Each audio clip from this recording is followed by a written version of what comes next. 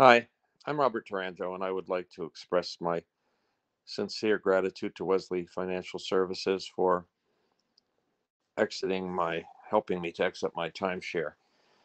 I'll try and be as brief as possible.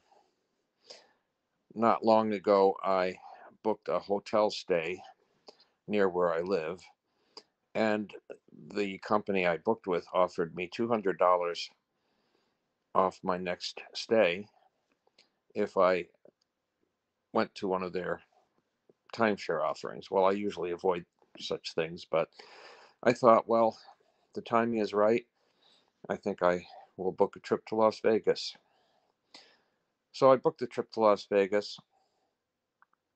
And first things first, I thought that $200 would come off of my Las Vegas stay. No, it did not. They offered me a certificate for a future stay at one of their hotels.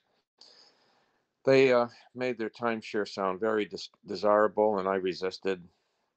They uh, talked me through all, all kinds of wonderful sounding um, offers, and uh, they showed me the room that I would possibly be having, and um, it, they made it sound extremely wonderful.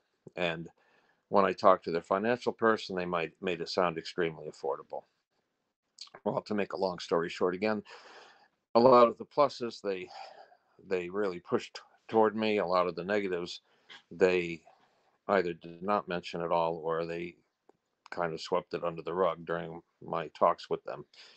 Uh, I was there for probably an hour, two hours.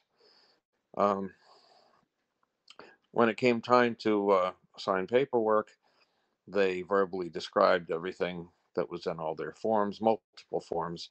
And uh, of course, being on vacation, I didn't get to look them over when I got back to my uh, hotel room after signing.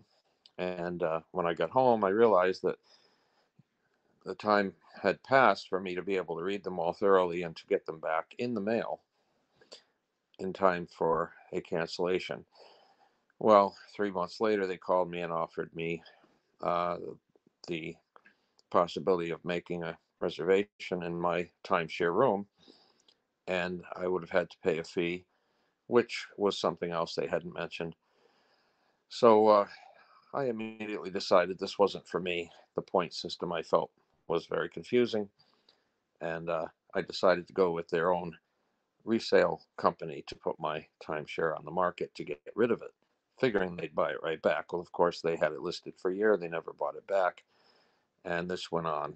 So uh, I contacted Wesley after seeing their ads in an AARP magazine, and they were wonderful at talking me through all the procedures. And after a certain amount of time, with correspondence back and forth with Wesley, I was able to exit the timeshare, and I'm completely satisfied, and I think you'll be too.